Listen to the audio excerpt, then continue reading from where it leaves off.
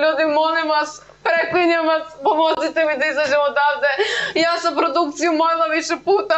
Ispred Doma Narodne skupštine danas je u organizaciji Udruženja za zaštitu ustavnosti i zakonitosti održan performans u znak nezadovoljstva zbog izostanka reakcije nadležnih organa na prekomerno emitovanje reality programa kao i na sam njihov sadržaj.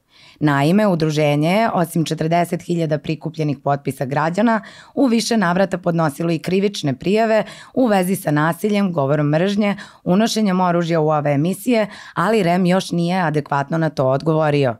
Kada je izašlo svedočenje gospođice Nikolić da je protivpravno držanja, držana u televiziji Happy, da je bila seksualno zlostavljena, da su joj nanošenje lakše i telesne povrede, čije ste vapaje mogli da čujete i to se emitovalo u direktnom prenosu, niko nije reagovao, čak ni tužilaštvo.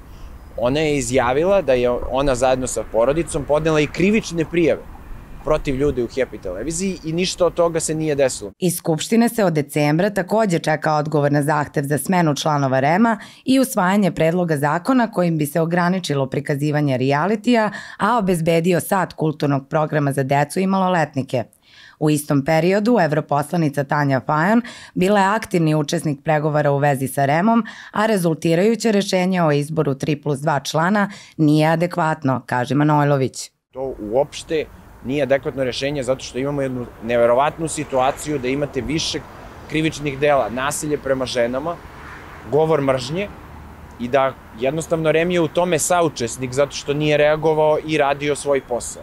Ne znam da li je gospođa Fajon bila upoznata sa ovim činjenicama, ali mi ćemo i danas uputiti mail sa svom dokumentacijom, podacima i snimcima, tako da mislim da treba da zna. Mi potpuno razumemo njenu ulogu da je ona posrednik.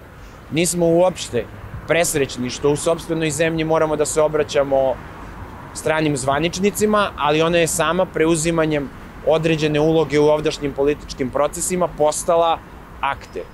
Predstavnike udruženja zanima da li Tanja Fajon i dalje podržava postojeći sastav REMA i da li stoji iza donešene odluke.